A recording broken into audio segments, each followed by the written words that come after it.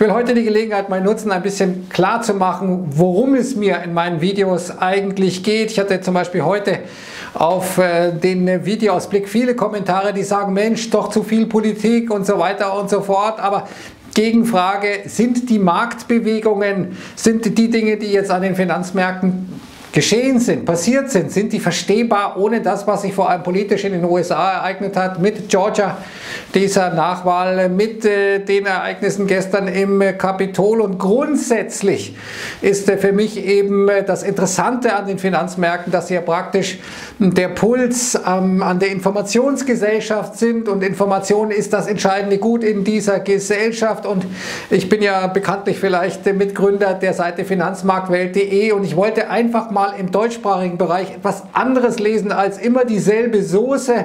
Egal wo man geguckt hat, waren immer irgendwelche Marktberichte, die sich äh, geähnelt haben oder die äh, mehrfach durchgenudelt wurden von verschiedenen Plattformen. Immer das Gleiche. Ich wollte im deutschsprachigen Raum etwas schaffen, was ein bisschen anders ist, was eine andere Seite der Medaille beleuchtet.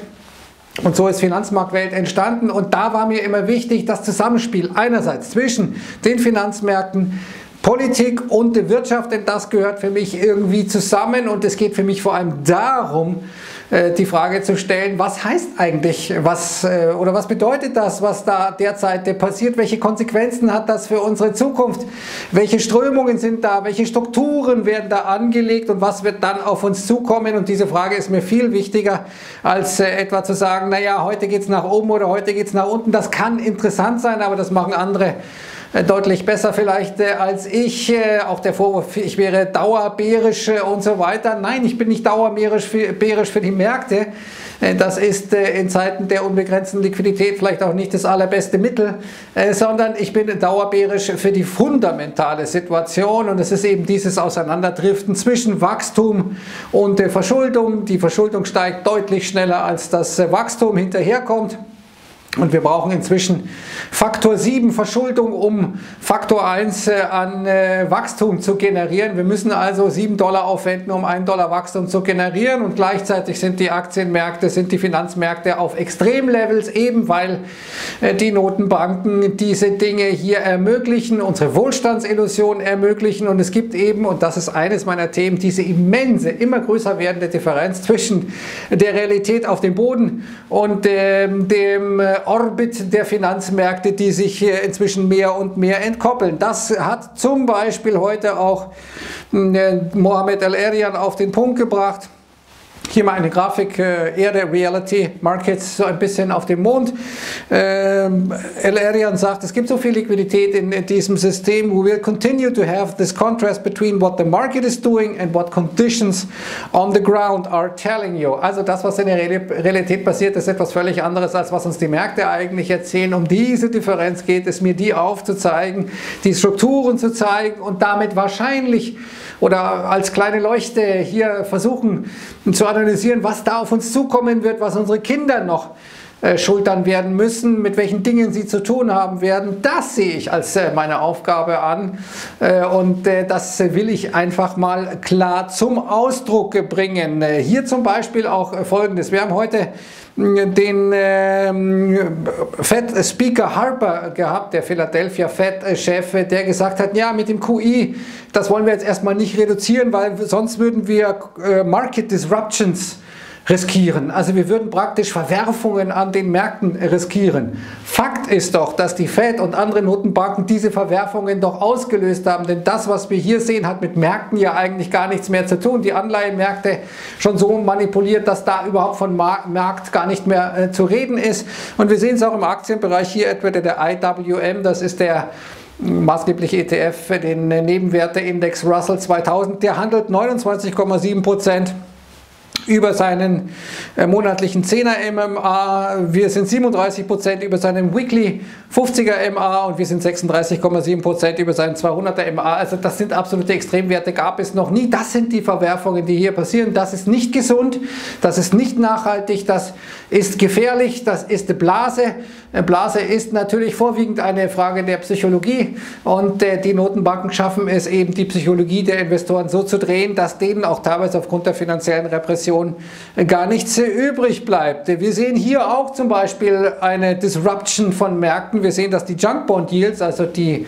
äh, Risikoprämien für Schrottanleihen auf Deutsch gesagt, heute auf ein neues Allzeittief gefallen sind. Entspricht das der Realität? Nein, das Ausfallrisiko steigt immer mehr trotz Notenbanken.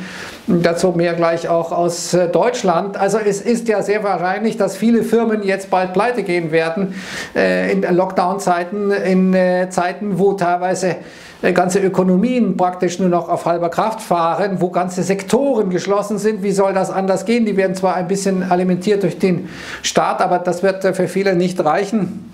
Gleichzeitig sinken die Risikoprämien auf Allzeittiefs. Für mich ist das nicht logisch und ist eben diese Differenz zwischen Finanzmärkten und der Realität. Und wir sehen, dass zum Beispiel auch diese Ungleichgewichte immer stärker werden zwischen menschlicher Arbeit, die natürlich tendenziell durch künstliche Intelligenz entwertet wird, und dem, was an den Finanzmärkten passiert. Wir müssen jetzt, oder Amerikaner müssen jetzt, ähm, so viel arbeiten, nämlich über 141 Stunden, um sich dafür einen S&P 500 zu kaufen, der ja heute erstmals 3800 äh, Punkte erreicht hat. Der DAX hat es heute mal über die 14.000er Marke geschafft. Allzeithochs, Allzeithochs, hurra, hurra, hurra.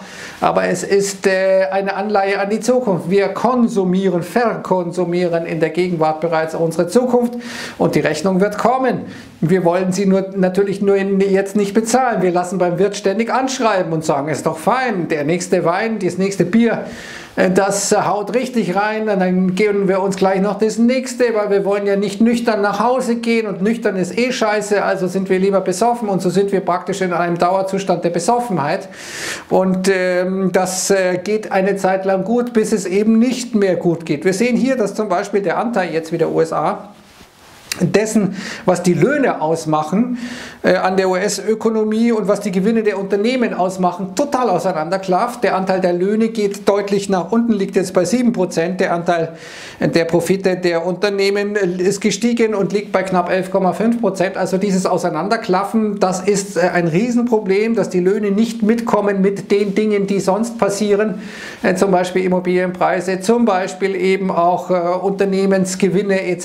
Das heißt, die meisten Leute partizipieren nicht an dieser Geschichte und genau das ist das Problem. Genau das ist ein eine Ursache dafür, was wir gestern im Kapitol gesehen haben, dass da ein Mob durchrennt, der wütend ist, äh, weil er sozusagen gesagt bekommt, diese Wahl ist gefälscht, aber der wahrscheinlich eine Grundwut in sich hat, die eben letztlich darauf basiert, dass sie Abgehängte in einer Gesellschaft sind und sehen, dass anderen es äh, immer besser geht, dass andere immer reicher werden und sie aber doppelt so viel arbeiten als noch vor 10, 20, 30 Jahren für dasselbe Gehalt. Das ist doch das Problem, das hier wirklich zur Diskussion steht und das uns alle angeht. Äh, das äh, nicht nur für Leute interessant ist, die sich mit den Finanzmärkten beschäftigen. Und so hatte ich schon öfter mal diese Pyramide gezeigt, die neue Hierarchie, der neue Feudalismus gewissermaßen mit den Zentralbankern an der Spitze. Das sind die eigentlichen Masters of the Universe, die bestimmen, ob wir äh, diese Illusion weiter aufrechterhalten können. Die sorgen dafür, dass die Reichen immer reicher werden. Die sorgen dafür, äh, dass äh, die Staaten sich refinanzieren können, etc. etc.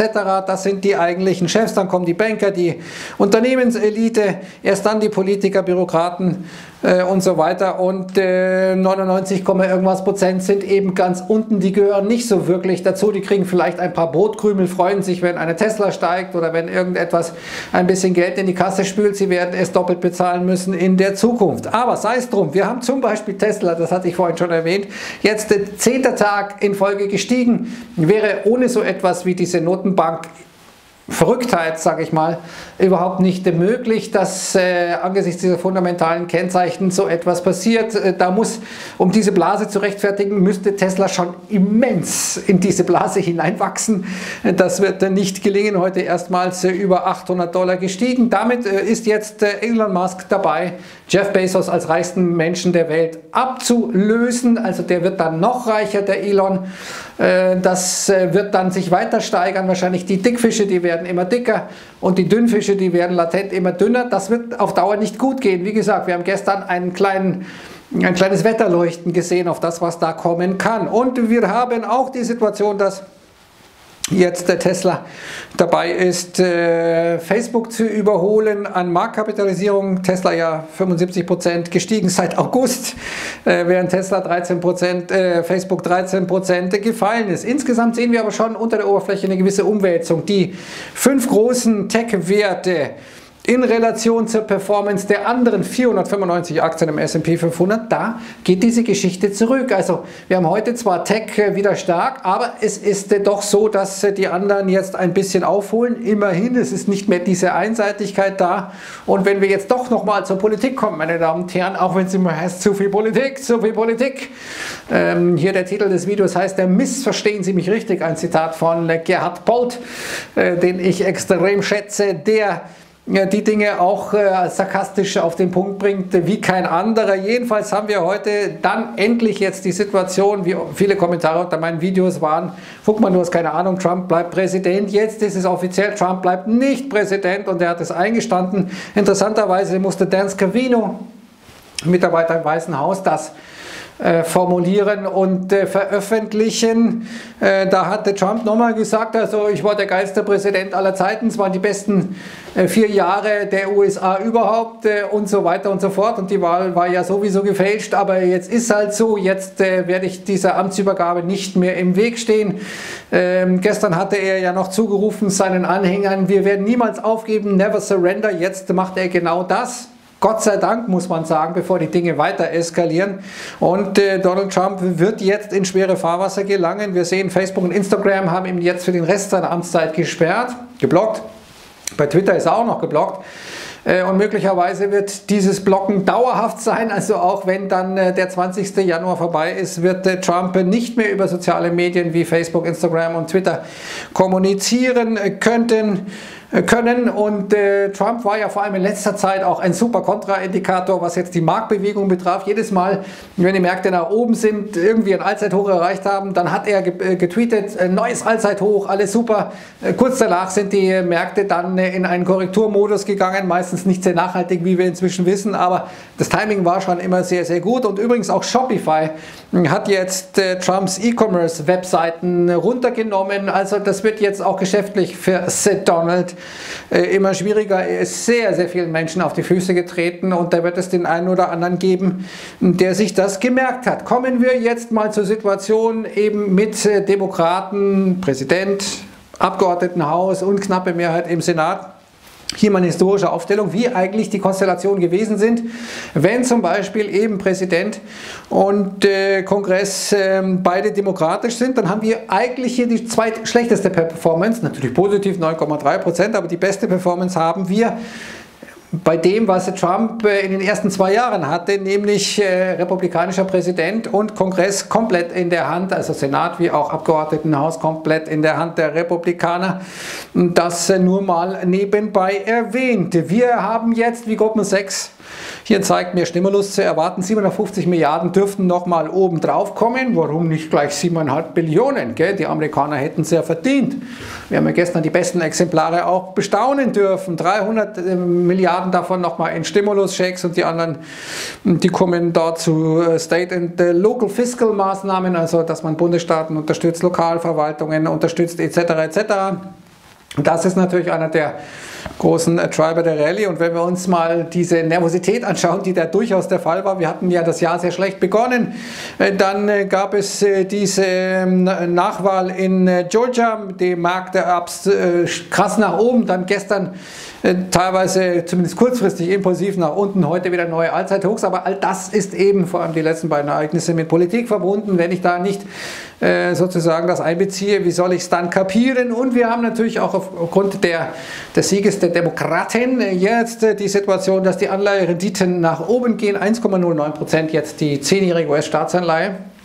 Sehr, sehr schneller Anstieg jetzt in den letzten beiden äh, Tagen. Und äh, interessant ist, dass trotzdem die Technologieaktien heute gut laufen. Normalerweise sind Anstiege von Renditen nicht gut für Tech-Werte, sind gut für Banken, Fristentransformation etc. Zumal sich die Zinskurve auch heute noch weiter versteilt, also die Differenz, Renditedifferenz zwischen länger laufenden und kürzer laufenden Anleihen, die wird größer. Wir sehen ein Comeback bei Lumber. Lumber ist wirklich wichtig, weil es äh, die Nachfrage nach Immobilien zeigt Äh, Immobilien sind äh, gerade für die Amerikaner extrem wichtig, sind der Wertspeicher schlechthin. Hier haben wir eine massive Erholung nach dem vorherigen Abverkauf sehr volatil, wie man hier insgesamt sieht. Und wenn wir nochmal zu den Notenbanken kommen, dann sehen wir extrem erfolgreich hier zum Beispiel die EZB-Bilanzsumme jetzt Richtung 7 Billionen. Auf der anderen Seite haben wir heute die äh, Verbraucherpreise aus der Eurozone gehabt, minus 0,3 Prozent, also deflationär. Dafür haben wir fast schon eine Hyperinflation eben bei Immobilien und bei Aktien. Das gleicht sich alles aus im Leben. Ne? Da ist eine übergeordnete Gerechtigkeit. Und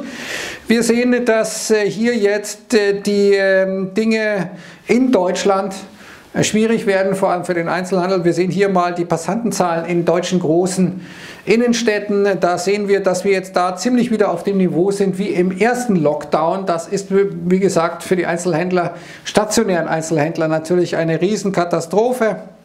Insgesamt ist der Einzelhandelsumsatz im Jahr 2020 sogar um 3% gestiegen, aber es ist eben vorwiegend an Amazon gegangen, an äh, internationale Konzerne, die eben online gut aufgestellt sind, nicht oder weniger vor allem der stationäre Einzelhandel, der ist der große Verlierer.